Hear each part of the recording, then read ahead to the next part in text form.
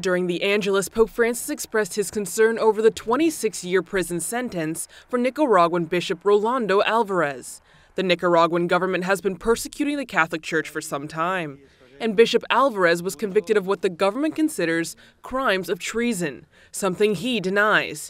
Le notizie che giungono dal Nicaragua mi hanno addolorato non poco e non posso qui non ricordare con preoccupazione il vescovo di Matagalpa, Monsignor Rolando Alvarez, a chi voglio tanto bene.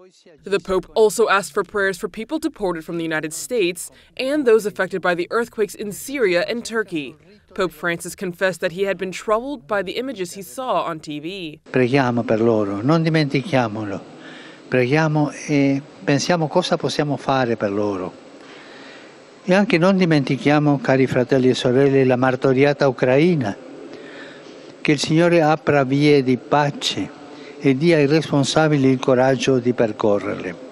Pope Francis asked all the pilgrims present to pray to the Virgin Mary that the international community may find effective ways to put an end to the injustices and wars in the world.